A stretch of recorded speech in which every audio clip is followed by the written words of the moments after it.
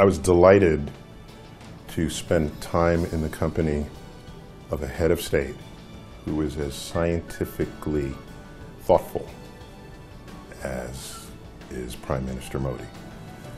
Um, so many leaders of the world, that I think their priorities might be out of balance with what it needs to be going into the 21st century with all of the challenges we have in civilization.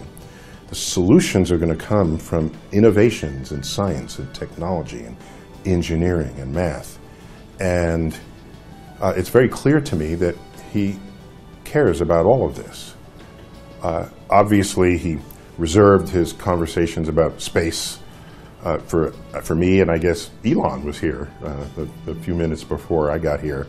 Um, but it's clear that space matters quite a bit to the Prime Minister. So I was delighted to hear about future programs that he has in mind.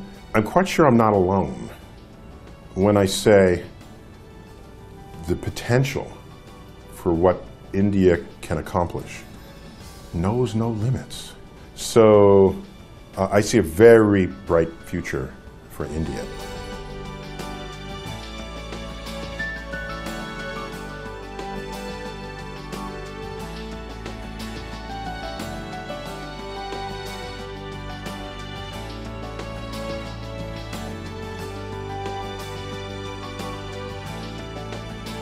I was delighted to spend time in the company of a head of state who was as scientifically thoughtful as is Prime Minister Modi.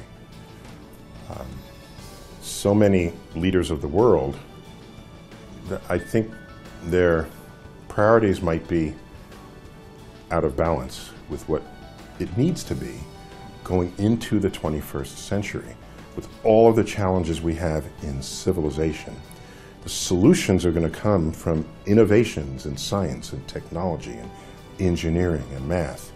And uh, it's very clear to me that he cares about all of this. Uh, obviously, he reserved his conversations about space uh, for, for me, and I guess Elon was here uh, a, a, few minutes before I got here.